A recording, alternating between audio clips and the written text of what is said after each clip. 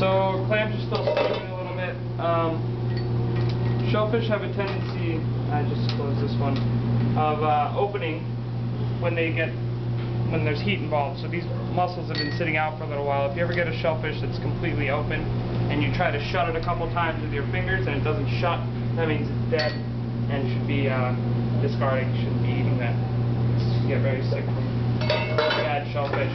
Um, if you ever get a shellfish that's slightly open, just give it a little press with your fingers and it'll, uh, it should shut automatically and that'll let you know that it's still alive. Um, Do you have a favorite place to shop for seafood around here? Or recommend for uh, people? There's a, I don't know the name of it, there's a place in the South End right next to Foodies on Washington Street that I normally get my shell seafood at when I'm cooking at home. Um, around here, not so much. I know that there's a seafood place up the street, I just haven't been there yet. It's like an Asian market seafood of place. Um, Super 88, I've gone to a couple times for some seafood.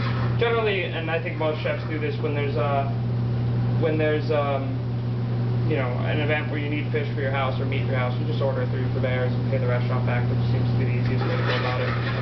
Uh, so as the water starts to evaporate in there, uh, you want to, before the clam steam, you want to add a little bit of water back into it. You're not really affecting the flavor. All that's happening is you're evaporating by trying to steam. Um, so you're just adding that water back to it to keep it steaming from it being too dry. Keep in mind this is a stew, so you want it to be a little liquidy uh, in for the final product. So we're still waiting for those to steam a little bit. I'm trying to see if any of these mussels are open. This one's just open. Wish I had an example for you. It's kind of like watching paint dry, waiting for the things to steam. Almost there. Where'd you come up with this recipe? Uh, something I had when I was in Uruguay, actually. Um,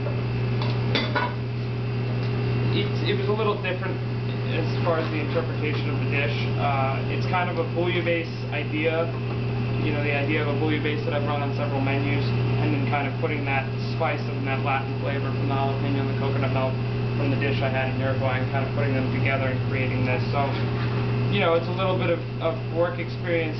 Who I learned my bouillabaisse recipe from, I don't really remember, but uh, you know, a little bit of work experience, and then on top of that, a little bit of dining experience kind of put together in the two, and trying to replicate something I had somewhere else that I really enjoyed.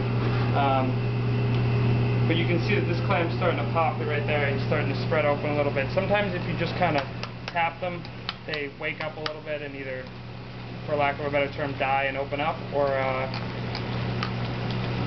sometimes not. Sometimes you get really strong. These are really, clams came in today, they're really fresh. They were pulled out of the water yesterday, so these are healthy, strong clams that are going to fight for their life and not want to pop so easily. And that's what you want, really. That is what you want, yes. And it helps you, you know, you know your produce, you know your, your, your shellfish is fresh and you can stick it in the boiling substance for three or four minutes and it doesn't want to open. Um, but you also want to make sure you hit it right at the right point when they pop. You want to drop these in so that they don't, uh, so that they don't overcook. Because once they pop, then they start to begin to overcook. Um, they're essentially cooked the minute they open, so it's kind of a delicate game of finding that right period. You don't want to pop these open and let it simmer for another 10 minutes and then drop your other stuff in. I mean, once these pop, you want to be ready to go with all your other ingredients. And add a little bit more water. It's going to be taking a while. At this point, you can also season it right before they're about to pop because you know that's kind of where your liquid content's going to be. And it's not going to reduce too much, so a little salt and pepper in there never hurt. I do